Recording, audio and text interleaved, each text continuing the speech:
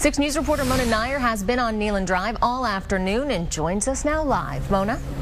Yeah, Jill, it's the 25th annual Boomsday Festival. An estimated 400,000 people expected in downtown Knoxville this evening. Let's show you some video from down there, back there on Neyland Drive, where the crowds are already here. They're enjoying fair food, they're listening to live country music, but of course, this all leads up to the nation's largest Labor Day fireworks display, and that begins at 9.30 tonight, and that's why we're here with Mike Walden. And Mike, you gave us this absolutely awesome location. This is sort of your headquarters tonight. We're over the river on the railroad tracks. Talk about what happens here in the hours ahead.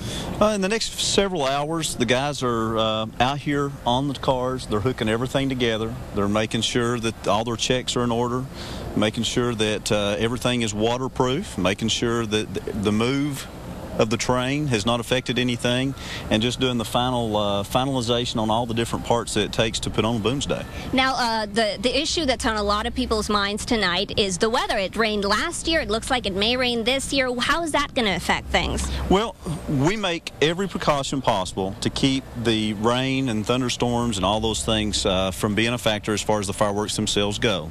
We have got some contingency plans and we're going to tweak some things. And uh, according to how the weather is we'll determine when certain effects actually go off this year. And talking about effects what are some of the highlights? Any secrets you can spill out right now? Well this is the 25th year so we have all the staples that we've had for boom, in Boomsday for 25 years. Everybody's excited and going to see the waterfall and then uh, we've put the Jaws theme back in for the for the nautical fireworks we added just a little bit of a twist to Jaws this year, so okay. that'll look a little bit different to most people. Nice. Well, thank you so much, Mike. And earlier today, reporter Haley Harmon was down on Neyland Drive for all the preps. Here she is with that story. Again, that fireworks display starts at 9.30 tonight. We're going to be here to cover it, and we'll be live again at 11. Reporting live in Knoxville, Mona Nair, 6 News.